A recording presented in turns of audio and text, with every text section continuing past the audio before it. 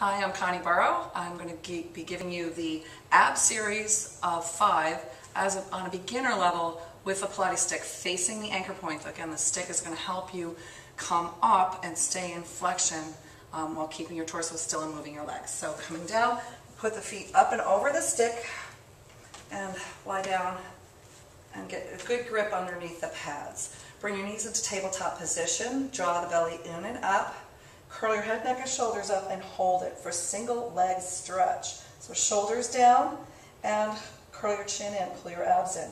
Reach your right knee in and switch. And right knee in and switch. And each time I bring my right knee in, I'm pushing the bar down.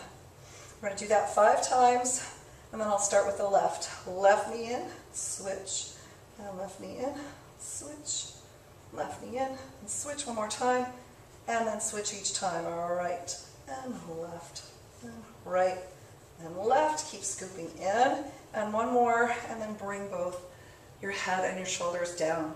Second part is double leg stretch. We're not going to use the arms, but we'll press the stick down for resistance. Curl your head, neck, and shoulders up.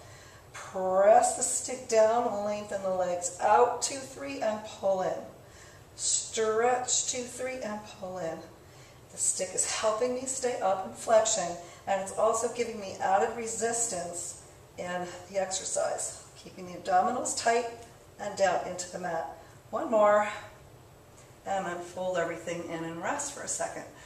To going to single straight leg stretch or scissors, both legs go to the ceiling. Lengthen your right leg back towards you, curl your head up, pull in and switch, and in and switch. Keeping the legs straight, like you're shining a glass top table between your knees, reaching the forehead towards your knees, toes towards the ceiling.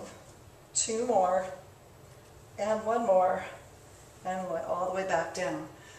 Double leg lower left, pressing the stick down towards the floor, curl your head, neck, and shoulders up. Lengthen the legs, lower down, lower down, lower down, press and lift, lowering the head. Lift your head, reach the arms long, lower the legs, one, two, three, press the stick, lift the legs, lower the head.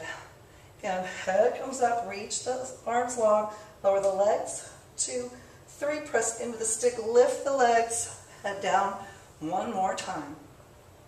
Lift, reach, lower, one, two, three, press down to the stick, lift the legs, lower your head, bend both knees. For crisscross, this one's a little harder, obviously. It's harder without using a Pilates stick. Curl your head, neck, and shoulders up. Right knee comes in.